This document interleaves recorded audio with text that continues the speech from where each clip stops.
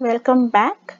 As we have already seen how to create a resource and SQL server, in this video I will show you how to create a SQL database. If you have missed uh, the previous video, please watch that video so that it will be easy for you to understand this video. I have placed the link for the previous video in the description box. Let me show you how to create a SQL database we can type here SQL database. Click on add. Resource group I will select. Database name.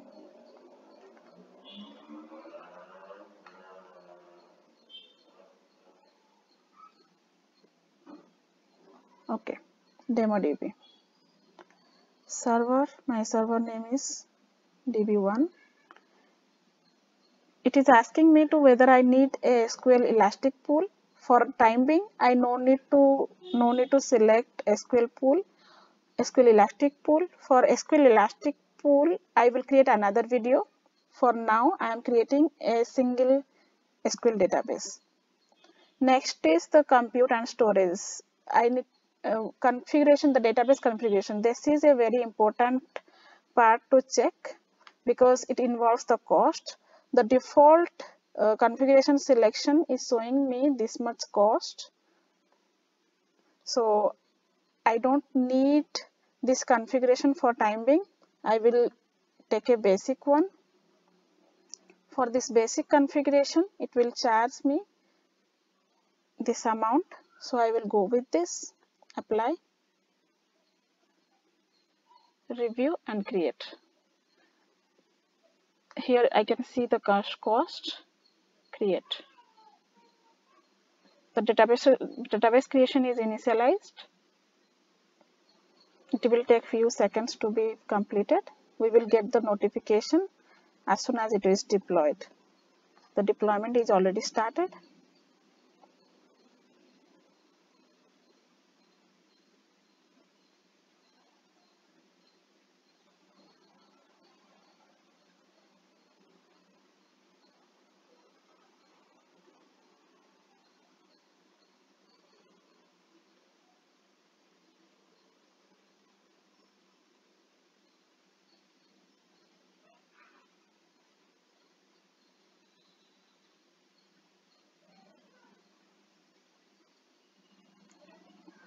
the deployment is going on.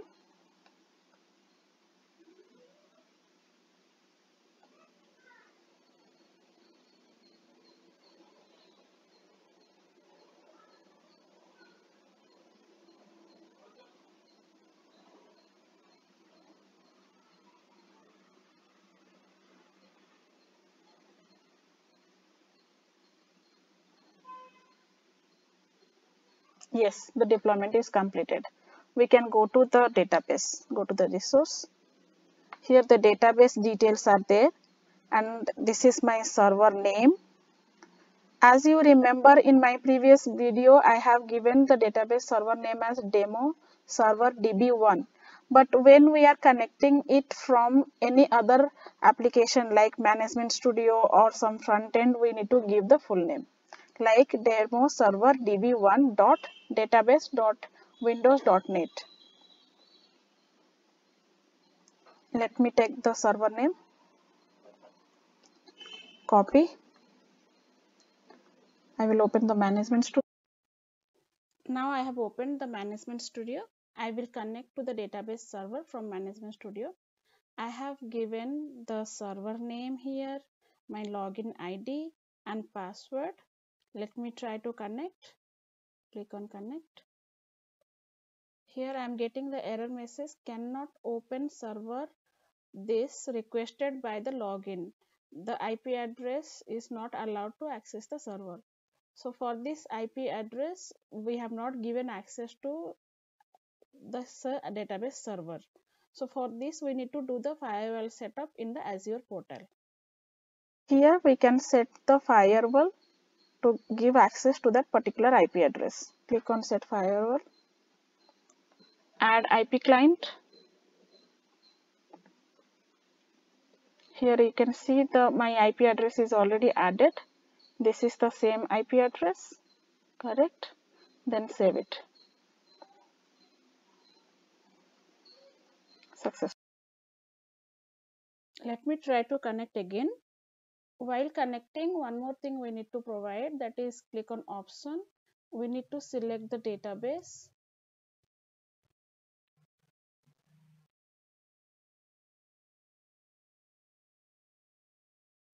okay.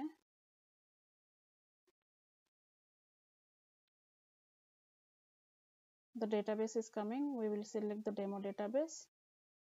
Click on connect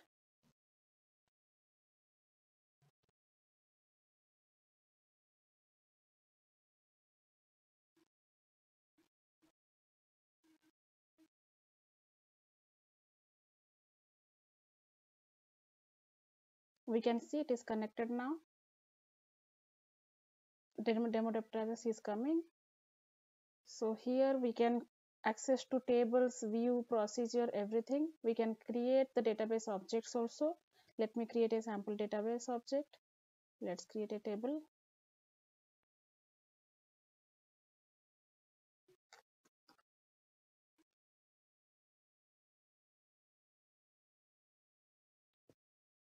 create table employee.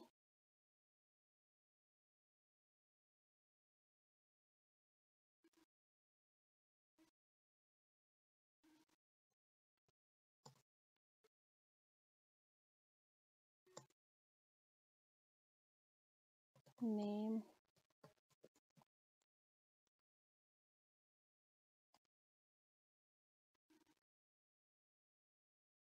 okay the table is created let's fire a select statement